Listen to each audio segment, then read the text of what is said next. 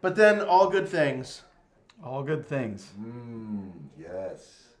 It was the summer of 2008. when Pete Nadel announced he was getting married. Yeah, well, and and really the start of it was I moved from having a job to having a career. I was selling two houses, buying a new one, getting married, Yeah. starting life. I, I want to say that I would never have left Jason high and dry if I thought it was just going to be sending him on to do the show on his own and, and worry about it. And we had never even talked to Jim about it. No. About taking over as a host. And Nobody you were very apprehensive about doing it. Like I felt like there was an all-star sitting on our bench. And I was happy to say, okay, if I'm going to step back, somebody who's going to slide into my spot is going to be, admittedly now, better than what I was because the energy and the passion that Jim puts into it, it was able to bring things to a different level. for you know almost two years or a year and a half or whatever it was, um, I was used to just looking across the Yeah. table at you, and we could cue each other and you know different things.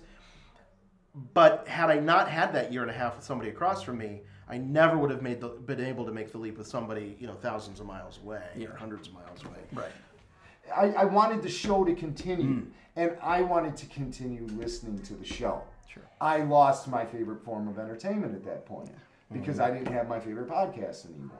Pete was gone, and those were big shoes to fill. There were two phone conversations we had where I tried to convince you to stay. Okay, We did have those. and I want people to know that. Yeah. In case there's still people out there thinking I forced you out. He did a sign off.